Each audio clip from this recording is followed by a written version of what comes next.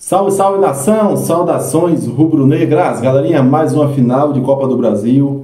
O time jogou bem, o time se empenhou dentro de campo. Hoje foi um jogo diferente, era um jogo que o Flamengo tinha que buscar a classificação e não foi diferente.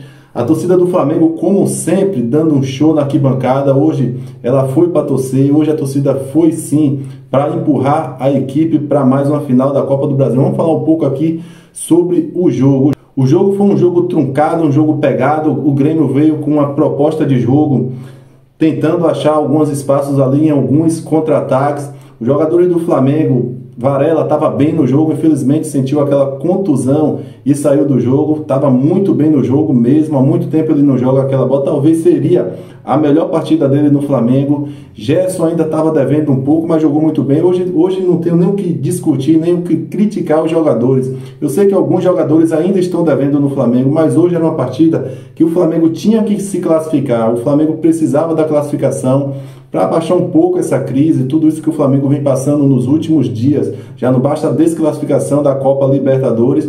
Então a gente tinha que comemorar hoje mais uma classificação para a final da Copa do Brasil. Alguns pontos positivos da partida, na minha opinião, Bruno Henrique foi, foi um, um, cavalo dentro de campo, jogou muito mais uma vez, corre, corre por dois, por três, dá sempre opção de passe ali na frente.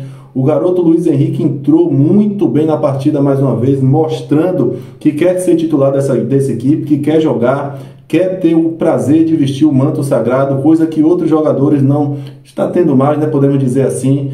Gostei da partida de Arrascaeta também, fez uma boa partida, nada de excepcional, mas fez uma boa partida. O lateral esquerdo, Felipe Luiz, foi tranquilo lá do lado esquerdo, a zaga também foi tranquila, um susto, outro, uma bola na trave. Porém, o time jogou muito bem. Como eu falei, o time tinha que ir para essa final, tinha que se classificar para essa final para colocar as coisas no trilho. Galerinha, coloque nos comentários abaixo aí o que vocês acharam da partida, quem foi o melhor jogador na sua opinião, quem foi abaixo na partida, também gostaria de saber qual é a sua opinião. Na minha opinião, o melhor jogador hoje, o melhor da partida foi a torcida. A torcida do Flamengo foi excepcional, deu um show na arquibancada, como eu falei no início. A torcida do Flamengo hoje foi sim o melhor jogador do Flamengo. Ação amanhã eu vou trazer alguns react aí dos gremistas, com certeza. A partir das 10, 10 e meia, fique ligado aí no canal. Muito obrigado você que chegou até aqui, muito obrigado pela moral. Tamo junto, saudações, Bruno Negro. Isso aqui é Flamengo sempre. Estamos na final, tamo junto.